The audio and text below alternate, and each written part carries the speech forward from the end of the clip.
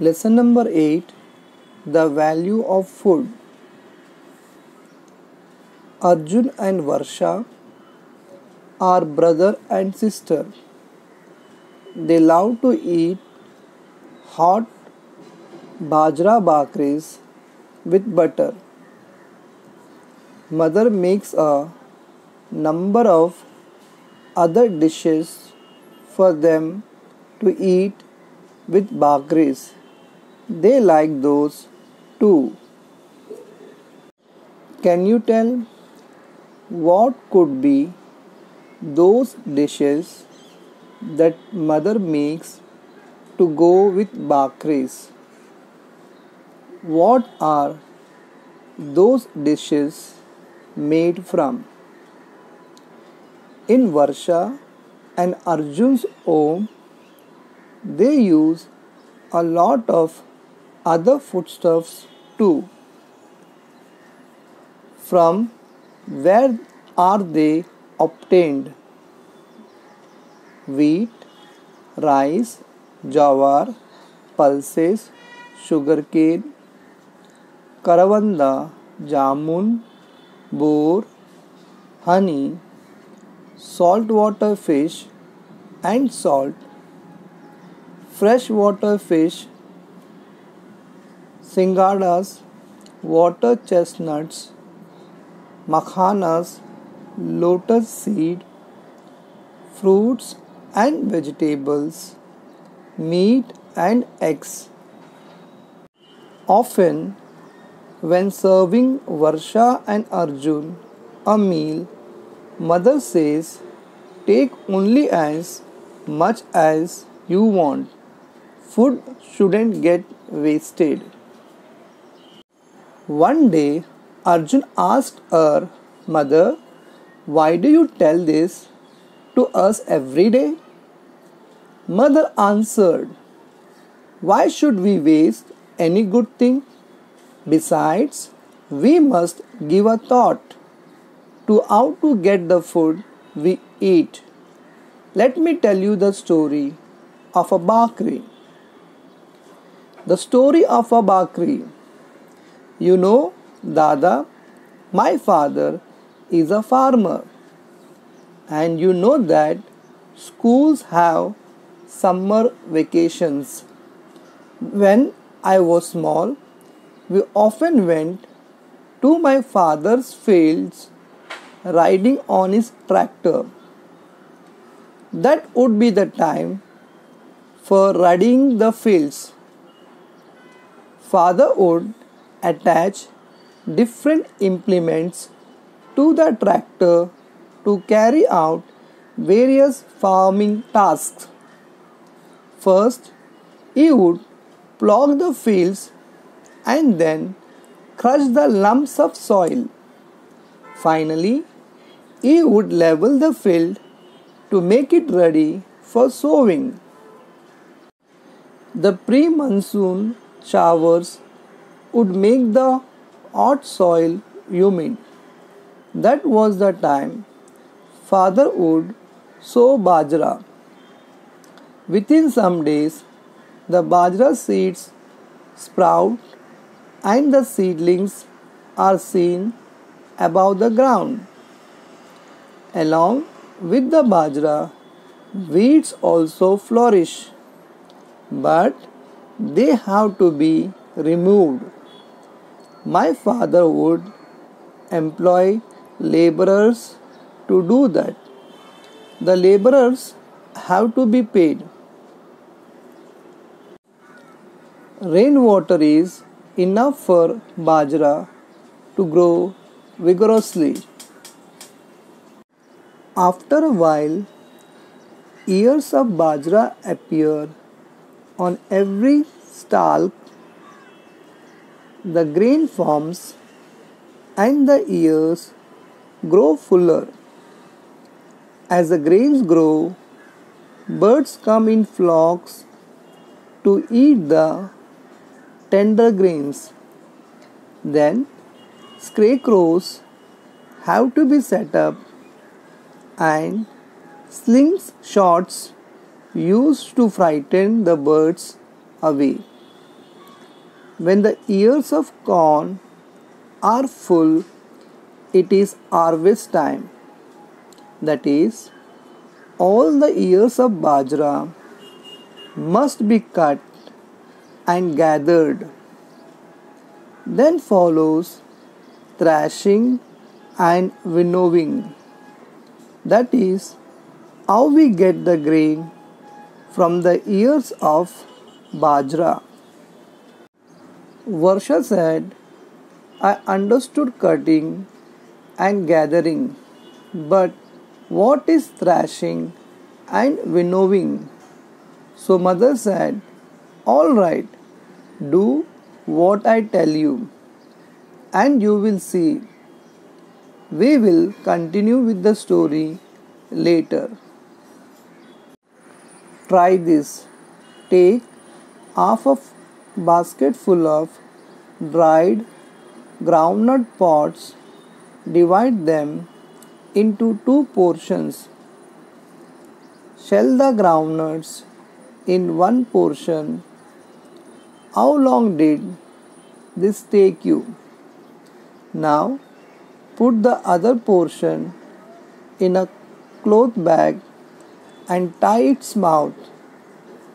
Pound the bag lightly with a stone or beat it with a stick.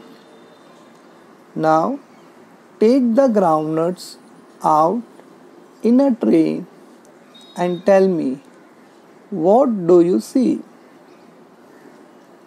Arjun Many of the pods have burst open and the nuts have come out. Mother, this can be called thrashing of the pods. Now hold the tray in both your hands. Toss its contents quickly and lightly in the air.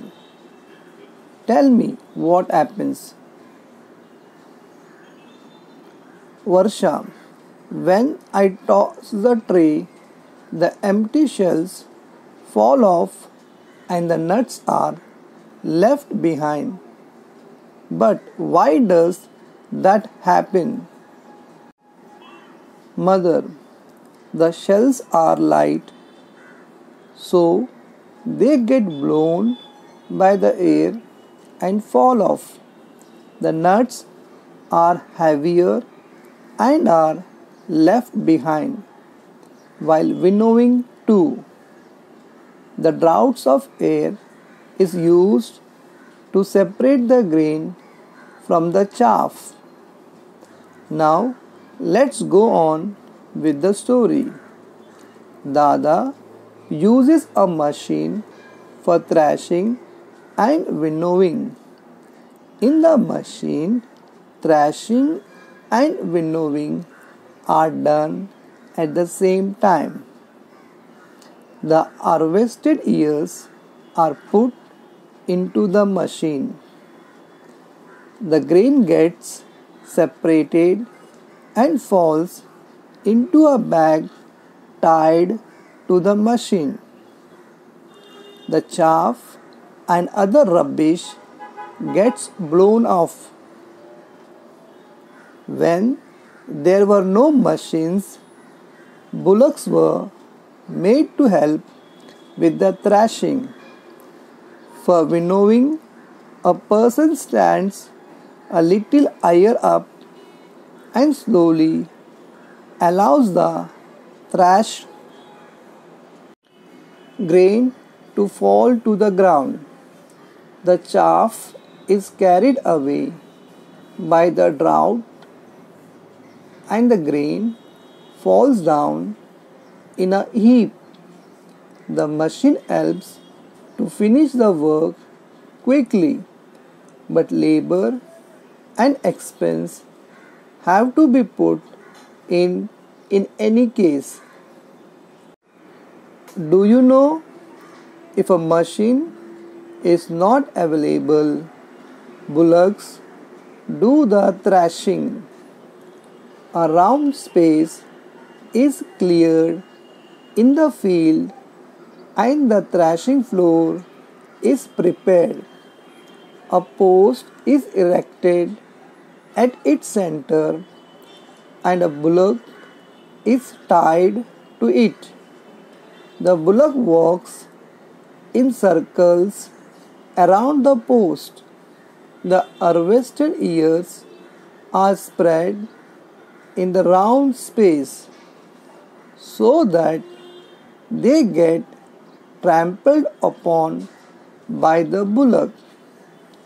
If the crop is large in quantity, a bigger place is prepared and more bullocks are used together. Thrashing may go on for several days. For the bullocks, too, this is heavy work. The grain obtained after winnowing is filled in sacks. Proper care is taken to make sure that it will not be attacked by insects or other pests such as mice and rats. After putting aside some grain for the family, the remaining sacks are sent to the marketplace to be sold.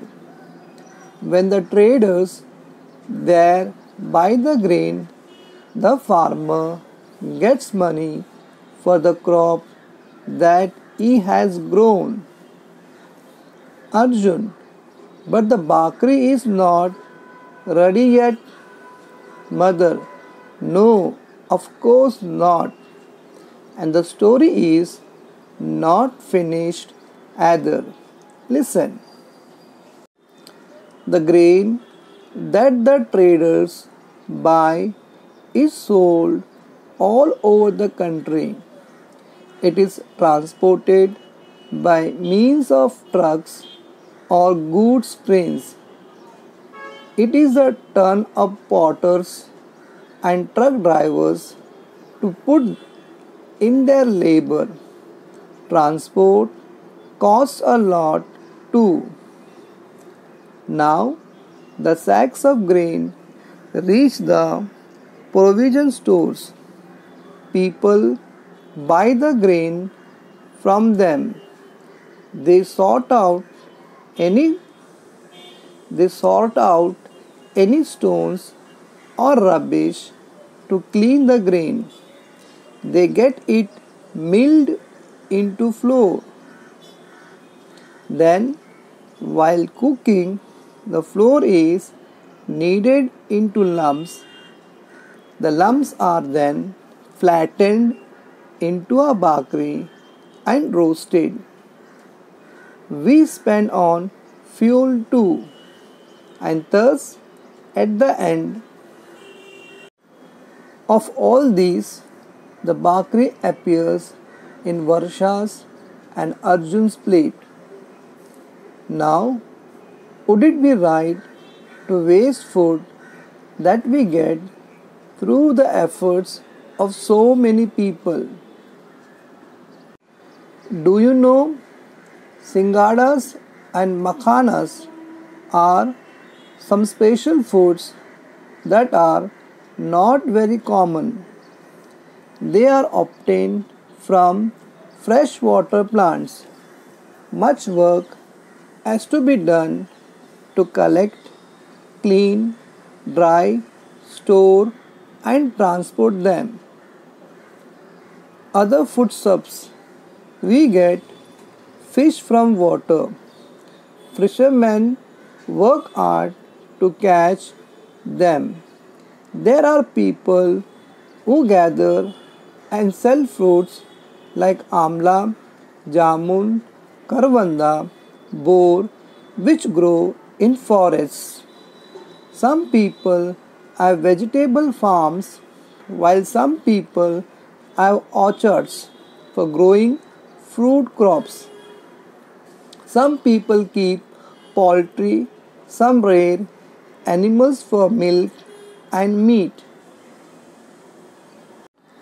All these people put in a lot of hard work in their own occupations. We get a great variety of foodstuffs as a result of their efforts. The efforts and labor of many other people are also required for storing, transporting, and marketing them, as well as preparing the various dishes we eat.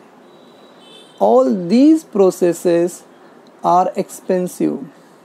Therefore, it is necessary for all of us to take care that food is not wasted. What we have learned the foodstuffs we use come from many different places such as fields, lakes, the seas, and forests.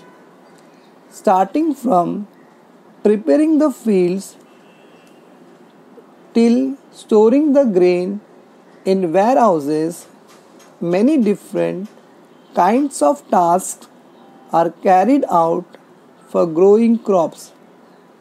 Harvesting, thrashing, and winnowing are some of these tasks. After that, the crop is transported, sold, and prepared for eating. Only then do we get food on our plates. As with growing grain, much hard work goes into producing other foodstuffs too. We must all take care to ensure that food is not wasted. Always remember, we get a variety of foodstuffs through the efforts of many different people. Let us always be grateful to them.